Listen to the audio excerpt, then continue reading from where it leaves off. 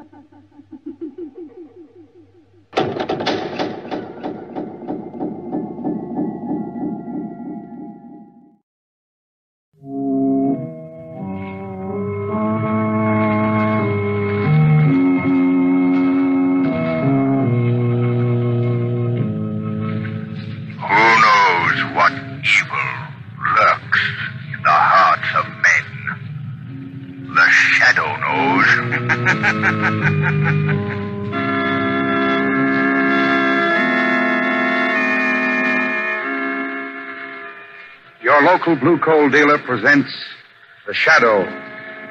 These half hour dramatizations are designed to forcibly demonstrate to old and young alike that crime does not pay.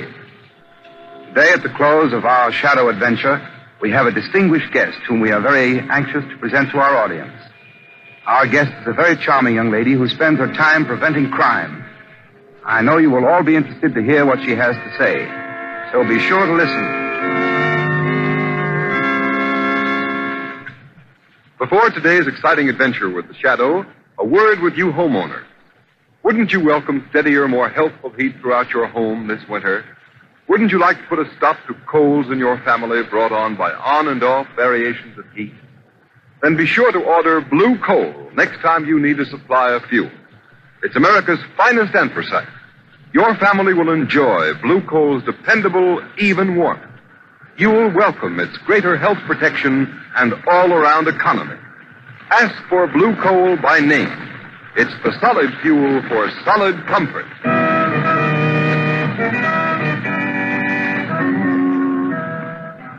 The shadow, mysterious character who aids those in distress and helps the forces of law and order, is in reality Lamont Cranston, wealthy young man about town.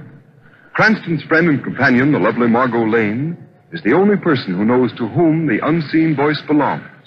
The only one who knows the true identity of that master of other people's minds, the shadow. Today's story, Guest of Death.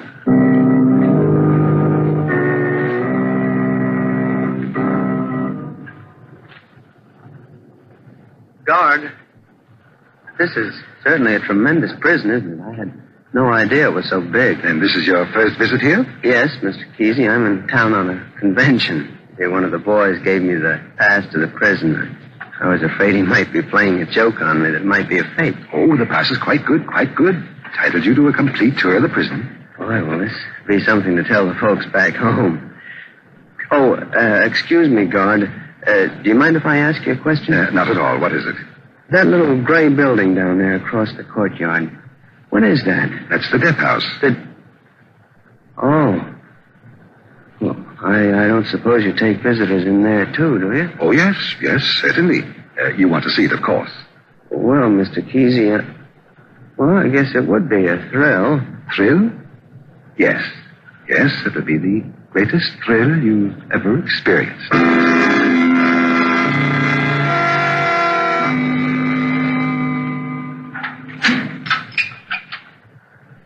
Now, here's the last sight on your tour.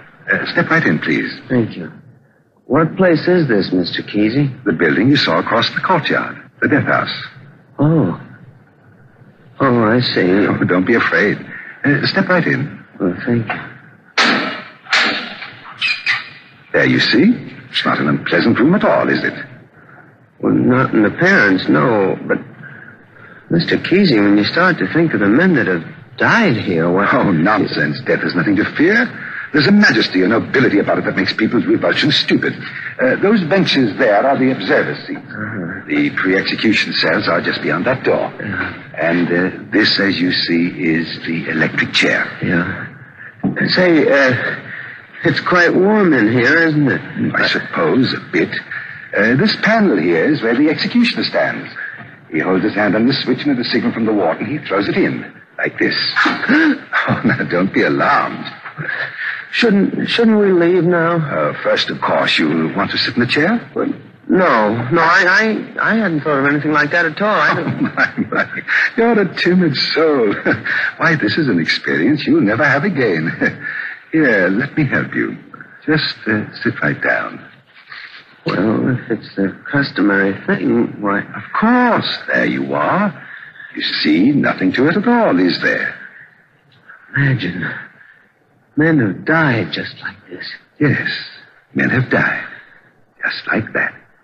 Here, I'll show you how it feels to be strapped in. Well, I, I, I can im- imagine how. I, I, there, the chest strap across here. you've drawn that a bit tight, Mr. Kesey. It took the wind out of me. That's the way it goes.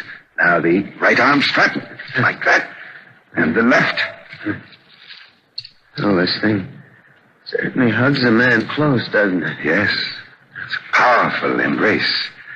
Now we'll step the left leg and the right leg, like this. Now, there you are, ready for the most noble and majestic experience of all. God. What do you mean? Yes. No! No! Keep away from that! Don't!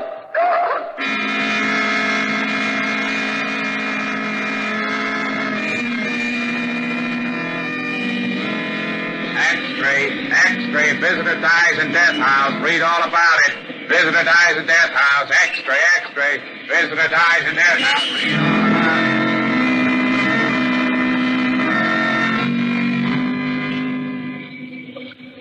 Did I call you a taxi, sir? Yes, please.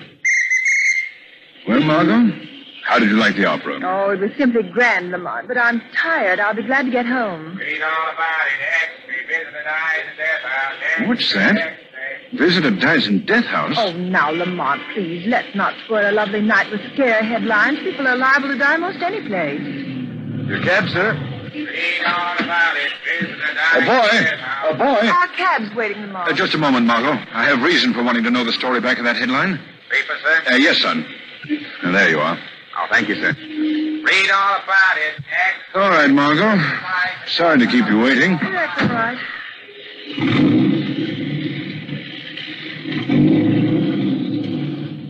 Oh, I know you're just dying to get to your story, so go right ahead, Lamont. Go ahead, read it. Here, I'll switch on the light. Well, thank you, Margot. Well, isn't much to it. Newspaper's strangely brief. Merely the headlines and a seven-line box on the first page. What does it say? Simply that a visitor died in the death house on a tour of inspection. There doesn't seem much in that to excite the imagination of the shadow. I'm not so sure about that, Margot. Surely you don't see anything sinister in such a bare announcement, Lamont? That's just the point, Margot. The account is too bare. What do you mean? Well, the newspapers don't seem to know anything. And it says here that the prison officials are saying nothing. Well, perhaps there's nothing more to say. There's an old proverb, Margot, to the effect that virtue rarely lies behind a tight lip. Well, I noticed that ferret gleam in your eye, so I might as well accustom myself to the idea that you're off on another adventure in crime. Yes, Margot. Off on an adventure that promises to be one of the most exciting I've ever had.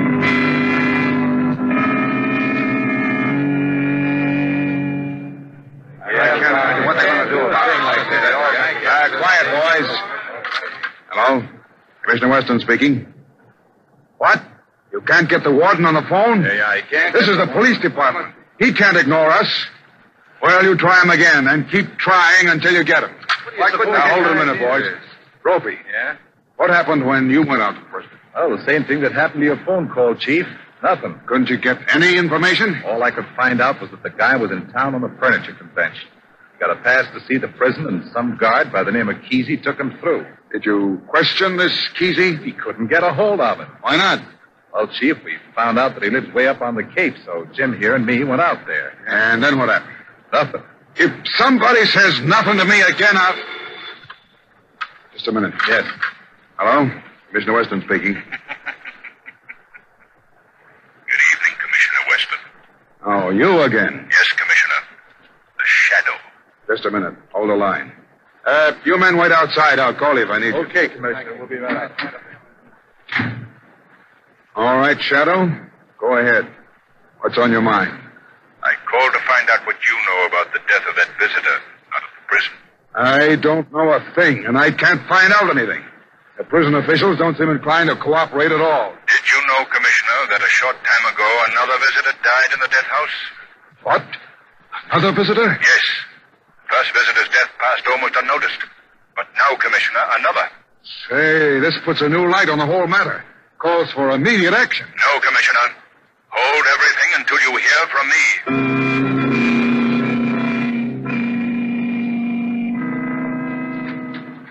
Oh, hello, Margot. Come in. And don't take your hat off. We're leaving right away. I just get to your house and then we have to leave. What's all the haste about? We're driving up to the prison. Oh, Lamont, don't tell me you're still thinking of that visitor's death. Thinking of it. Margot, I've discovered some things that make me feel I've got a big job on my hands. For one thing, I've discovered that another visitor died in that same death house. I've come to the conclusion that there's only one way I can find out what's back of it all. And how is that? Here. See this? It's a visitor's pass. Yes. I'm going up there and go through that prison, just as those other men went through, as a visitor. Oh, no. No, Lamont, you mustn't. I've got to, Margot. It's the only way. I'm not usually given to superstition, Lamont, but there's something supernatural, something unearthly about those deaths. I don't want you to expose yourself to the same fate that overtook those poor men. I, I won't let you do it. Come now, Margot. Don't let this get the best of you. Oh, Lamont, I, I'm afraid. I'm afraid.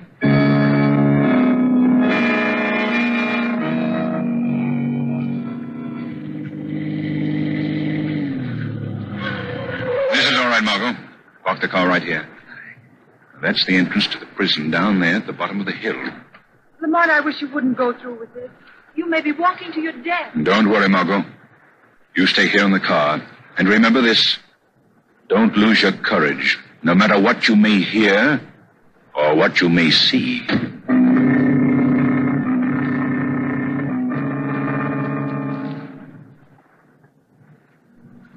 Hello, Keesey. You here again? Uh, yes, Mr. Harper. I'm taking this gentleman, Mr. Cranston, on a tour of our institution.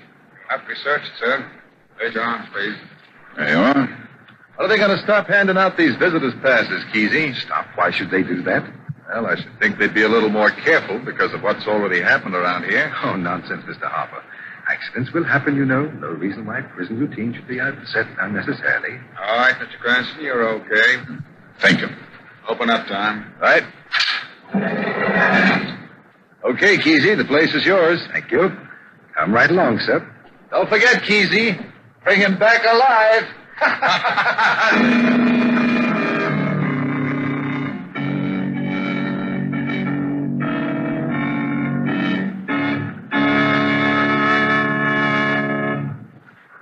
We'll return you to the second half of the Shadow's exciting adventure in just a moment. In the meantime, homeowners, let me remind you that there's one sure way to save yourselves time, trouble, and money in heating your homes this winter. And that's by insisting on blue coal when you order your next supply of anthracite. With blue coal, you'll get steadier, more dependable heat at far less heating cost. For blue coal is mined from the heart of the northern Pennsylvania fields, the richest hard coal deposits in the United States.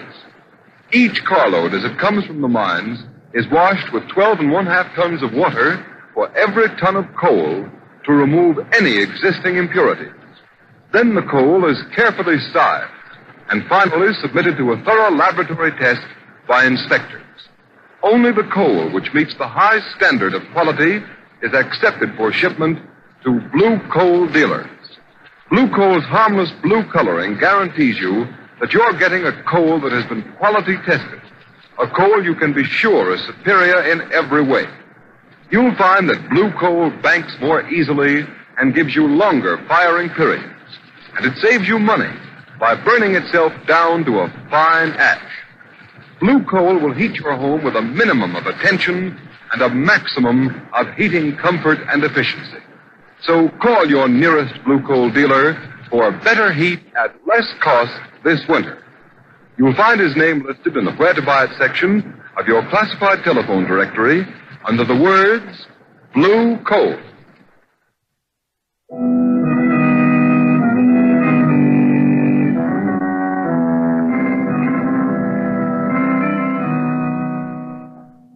So, this is the death house, eh, Kesey? Uh, yes, Mr. Cranston. The end of your prison tour. Hmm. Eerie sort of place, isn't it? Oh, that depends on the viewpoint. Huh. You've worked in this prison a long time, haven't you, Kesey? I've been here 35 years, Mr. Cranston. Really? Yes, sir. 35 years in the service. Yeah. Is this your regular job, taking visitors through the prison? Yes, I've been doing this for several years. But it's a poor substitute for the place that rightfully belongs to me. The place that rightfully belongs to you. What do you mean by that? Uh, nothing. Uh, nothing at all. I shouldn't even have mentioned it. Uh, come now, this has nothing to do with your tour of the prison. Oh, I'm sorry. I didn't mean to pry into your affair. Oh, now pay no attention to what I've said. I'm a bit out of sorts today, nervous, I guess. Yes, I understand. I suppose I'd be nervous, too. If I did the things you've done. The things I've done, Mr. Cranston? Uh, what do you mean by that? Oh, nothing, Kesey. I'm just thinking of how I'd be affected by 35 years spent in a place like this. That's all. It does play on a body's nerves. But a single visit can affect the nerves even more than 35 years. I'm afraid I don't understand. Oh, not now, perhaps. But you will. Oh, yes. You will. Well, it's been a very interesting tour, and I'm much obliged to you. I must be running along now. Uh, but I haven't explained this room, the death house, to you. Well, that's hardly necessary. Surely you wouldn't leave without sitting in the electric chair, Mr. Cranston. My curiosity doesn't go to such extremes. But every visitor sits in the chair. Well, Kesey, you've been very thorough in showing me through the prison, so if you feel I'm spoiling your final touch, why, of course I'll sit in your chair. Ah, good. Uh, sit right down. All right. There we are. Now I'll strap you in. Hmm? Oh, it won't take a minute. There. The chest strap's on already, you see. Well, you certainly did that with amazing speed, Kesey. Like an expert. I am an expert, Mr. Cranston. Years ago, I was a member of the execution squad. Really? Then you participated in the actual executions? I was one of the men whose job it was to strap the condemned in the chair. There's a man for each strap, you know. Speed is important. The quicker it's done, the less the condemned suffers. I was on the chest strap. That happens to be the most important one. Well, I, I can testify to your efficiency. I, I can hardly move a muscle. I don't suppose you can. There we are. Snug as a bug in a rug. But not so comfortable. Uh, by the way, Mr. Cranston, uh, you remember the famous Cosden case, don't you? Oh, very well. Cosden was brought to justice as a result of the efforts of a character known as the Shadow. Uh, then surely you must remember me. My picture was in all the newspapers at the time. Oh, really? I suppose you helped to strap Cosden in the chair. Oh, no, no. I executed him. You what? Oh, it was a very unusual case. Uh, you see, we had a new executioner. At the last moment, the poor fellow's nerve gave away. Oh, there was quite a to-do. Cosden was already strapped in the chair. The warden was beside himself. Somebody had to bring matters to a conclusion. So, I volunteered my services. As executioner? Uh, yes. Oh, it was quite an experience. First and only time I ever attracted the least bit of attention. But it was the cause of the most bitter disappointment in my whole life. Disappointment? Uh, you see, I'd hoped that my service would be rewarded with a permanent appointment as executioner. You had an ambition to make a career of it? Well, why not? Hundreds of others applied for the job. Oh, it's a position of distinction. Uh, you say you were promised the job? Yes, but the authorities didn't live up to the promise. They cheated me, robbed me of what was mine. Oh, I wouldn't let it disturb me so if I were you. Disturb me? It's rankled in my heart throughout the years and left me with one consuming desire to hate. A hatred like that can hurt no one but yourself. You think not, and I know better. I'll make them pay for what they've done to me. I'll make them pay. I think you have an entirely wrong attitude, Kesey. Well, this has all been very exciting, and now if you'll unstrap me and let me out of this electric chair, why... What? Let you out of the chair, Mr. Cranston? Never. I'm going to give you what I gave the others. What do you mean, Kesey? In a moment, I'm going to pull the switch and fling you into eternity. Let me out of this chair. Yes, I'll let you out. You can't do anything like that. You can't get away with it. I told you I'll make them pay for what they've done to me. Get yourself together, man. Why do you want to wreak your vengeance on people like me? Because you are people, and the people cheated me, and they'll pay for it. Kesey, you're a fiend. I'm a cheated man. That's only your excuse, an excuse you offer your conscience to justify the things you do. Shut up. There's only one reason for you doing a thing like this, Kesey. The desire to satisfy a vicious urge in your diabolic nature. Shut up, I said. You can't go through with this thing without your excuse. Well, I'm going to take that away from you. I'm going to turn you inside out and show you the fiend you really are. I'll are. let you. I'll shut you up. I'll put the headpiece on and cover your face with a death. Don't you dare! Take it easy. Take it easy, Tony. Uh, you can say what you want now. I don't have to hear you. Now, the switch and eternity.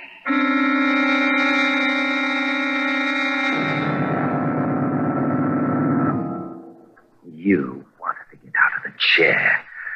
Very well. I'll take you out now, Mr. Cranston. I've killed him. He's dead.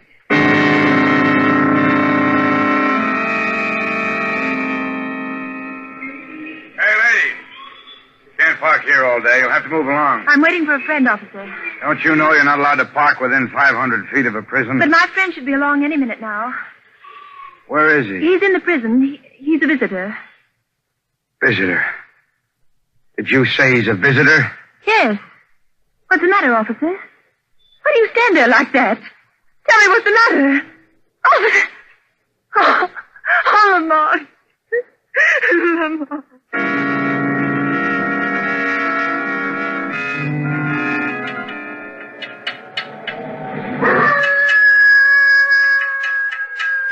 Figure out why people have their water pumps outside the house so they'll freeze. Oh, uh, here you are, Mr. Kesey. I uh, don't expect this water pump will give you any more trouble. Leastwise, not tonight. You've done a good job, Mort. Sorry I had to get you up on a night like this. Tain't no pleasure plodding up that there sand road any night. Say, what's the matter with that hound dog of yourn? Doing a powerful lot of howling tonight, ain't he? Yes, quite a lot. They say uh, hounds howl like that when somebody dies. Dies? Yes, yes, I've heard that said. Chimney crickets. It's enough to make a body's skin creep. You, you don't suppose he sees something, do you? A spirit, I mean? No, it's nothing. Forget it. Uh, don't reckon even spirits would come up here. Uh, does he, does he often howl like that? I've only heard him do that twice before. Tonight makes the third time. Well, well, there's your water pump, fit and fine, Mr. Kesey. I'll be getting on down to home now. Good night to you. Good night, Mort. Rex, here. Come here. In the house with you. Go on. Eat. Enough of that now. Lie down. Chicken-hearted old hound. Just like a human, you fear death, too. That fool, Mr. Cranston, I sent to eternity today, he was afraid of death. But that didn't save him. He's no more. He's dead. And I'll send many others after him. what was that? Who's there? Who's out there? Is that you, Mort? No, Kesey. Mort is well down the hill now. There's nobody out there. I'm right here, in your house. Right here in the room with you. I know where you are. You're in this house. You see, I'm not in the closet. I'm right here, behind you. Who are you? What do you want? You, Kesey. I've come for you. Don't you touch me. Don't you come near me. Surely you're not afraid of death. Death? Remember, only fools fear death, Kesey. Get out. Get out. I'll brain you. I'll kill you here. You have a poor aim, Kesey. Get out. Get out. You see, it's useless, Kesey. You can't destroy what you can't see. Why have you come here? To end your criminal career, I've committed no crime. I'm going to make you confess to the murder of those innocent visitors at the prison. I don't know what you're talking about. You cannot lie to me. I know. You killed those men in cold blood. That's a lie. I'll admit you're clever. You did your job with fiendish genius. But you're at the end of your rope, Kesey. The only hope left for you is to confess and clear your soul. Oh, no, I'll admit nothing. Leave me alone. I won't confess. Oh, yes, you will. I'm not through with you yet. Look, Kesey. In this corner of the room. Right here. That's it. Now watch carefully. And you'll see someone you met not many hours ago. Look, Kesey. Look. Cranston. There. Now you see standing before you the man you strapped in the chair a few hours ago. Go away. Go away. You're dead. You're dead. Confess, Kesey. I killed you. You're dead. Confess. I won't. I won't. Go away. Confess. Wait, wait. Confess. All right, all right. I killed, I killed him. But I'll never be taken alive. Never. Never. Ah!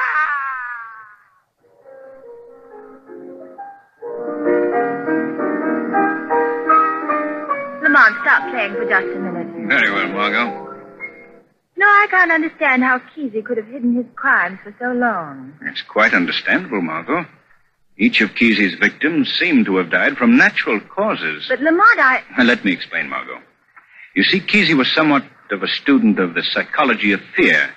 And this knowledge and the victim's natural fear of a factual instrument of death, the electric chair, enabled Kesey to produce a fear paralysis that stopped the hearts of his victims. They died of heart failure. Then he didn't actually electrocute them? He couldn't, Margot.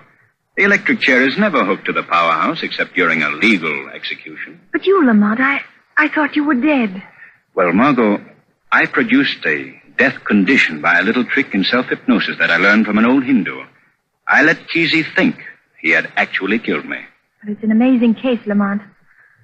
I'm glad it's over. Yes, Margot, it's over. Kesey was a fiend consumed by the heat of his own hatred. He's now of the many destroyed. And who knows, perhaps theirs is the final and most complete vengeance.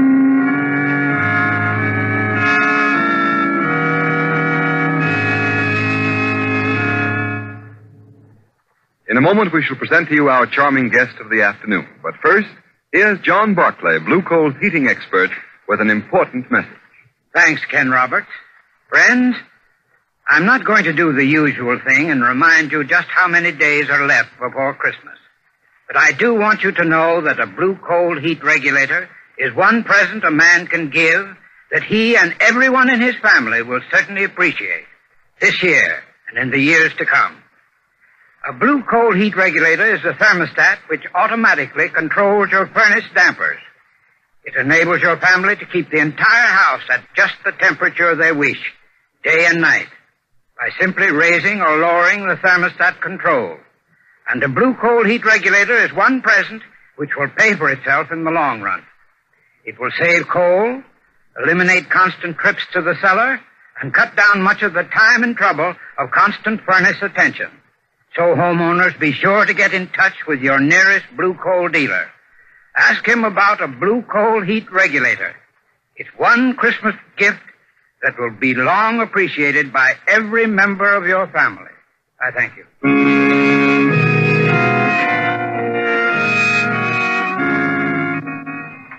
Ladies and gentlemen, the sponsors of The Shadow are extremely happy to introduce to you a young lady who devotes her time to the problems of New York City's maladjusted families, from which so often spring undesirable citizens and lawbreakers. It is with great pleasure that I introduce to you Miss Anne Halperin, probation officer of the Family Division of the Domestic Relations Court of the City of New York.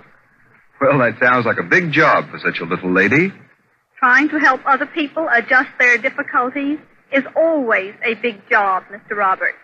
But knowing that we are helping parents and children make the most of their lives makes it intensely satisfying work. And a mighty fine piece of work you're doing, too, Miss Halperin. Thank you, Mr. Roberts. I certainly hope so. I feel that I cannot stress too strongly the part that an unhappy or broken home can play in the formation of criminal habits. The Domestic Relations Court attempts to check the problem at one of its roots, just as you attempt to meet it in another way, by showing your listeners so dramatically and convincingly the folly and complete futility of crime. Thank you, Miss Halperin. It makes all of us feel we're doing something really worthwhile, especially so knowing that you and your associates in the business of crime prevention believe our efforts are not in vain. It's been a real privilege to have you as our guest this afternoon, and we thank you very much, Miss Halperin. Today's program is based on a story copyrighted by the Shadow magazine. All the characters and all the places named are fictitious. Any similarity to persons living or dead is purely coincidental. The Shadow magazine is now on sale at your local newsstand.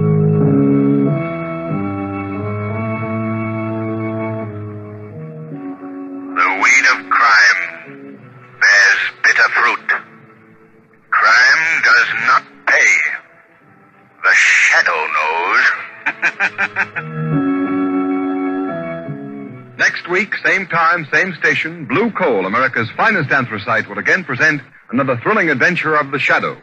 Be sure to listen and be sure to burn Blue Coal.